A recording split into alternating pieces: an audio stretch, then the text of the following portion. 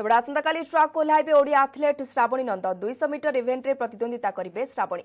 ଏଥିପାଇଁ ଶ୍ରାବଣୀଙ୍କ ନିକଟକୁ ଛୁଟୁଛି ଶୁଭେଚ୍ଛାର ସୁଅ। ପରିବାର ଲୋକେ ଝିଅର ସଫଳତା କାମନା କରି ଆଜି ପୂଜାପାଠ କରିଛନ୍ତି। ପରିବାର ସଦସ୍ୟଙ୍କ ଆଶା ଶ୍ରାବଣୀ ଅଲିମ୍ପିକ୍ସରେ ନିଶ୍ଚୟ ପଦକ ଆଣିବେ ଏବଂ ଦେଶ ଓ ରାଜ୍ୟର ସୁନାମ ଅର୍ଜନ କରିବେ।